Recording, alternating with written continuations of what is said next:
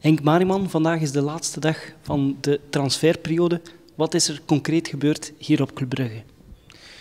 We zijn uh, vertrokken vanuit een duidelijk plan. Uh, we hebben de markt verkend. Uh, we zijn uiteraard op zoek gegaan.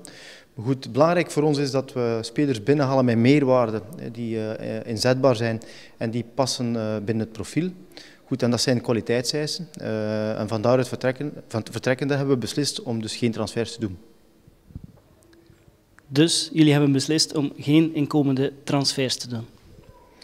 Uh, inderdaad, wij geloven uh, pertinent in de huidige spelersgroep. Uh, en wij geloven ook dat de doelstellingen die we voorop stellen, dat we die kunnen halen.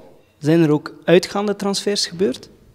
Stefan Sepovic vertrekt naar KV Kortrijk, is op uitleenbasis tot het einde van het seizoen. Waarom die beslissing? Ik denk dat Stefan daar tot, tot spelen toe kan komen.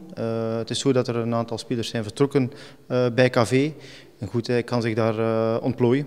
Intern is er wel iets gebeurd. Er zijn drie beloftevolle jongeren doorgeschoven naar de AKN. Ja, dus je zou kunnen spreken van een uh, interne transfer.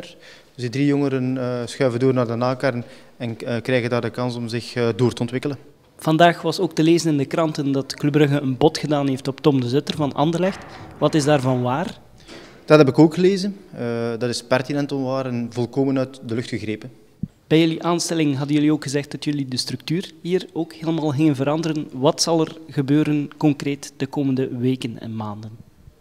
Wel, de topprioriteit uh, is absoluut de scouting. Uh, we hebben de bedoeling om uh, die goed op poten te zetten en te professionaliseren.